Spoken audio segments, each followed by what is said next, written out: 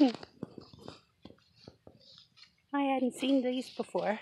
I keep finding tulips because I haven't mowed the grass yet. All by themselves.